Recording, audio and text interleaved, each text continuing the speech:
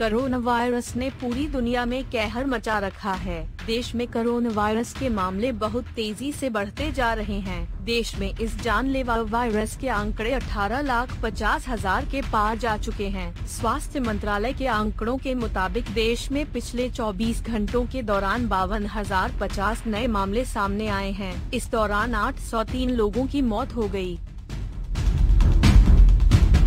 भारत में कुल संक्रमितों की संख्या अठारह लाख पचपन हज़ार सात सौ पैतालीस आरोप पहुँच चुकी है। इस वायरस की चपेट में आकर अड़तीस हज़ार नौ सौ अड़तीस लोग जान गंवा चुके हैं। इसके साथ डिस्चार्ज हुए लोगों का आंकड़ा बारह लाख तीस हज़ार पाँच सौ नौ आरोप पहुँच चुका है, जिसके साथ रिकवरी रेट छियासठ दशमलव तीन फ़ीसदी पर है। News desk.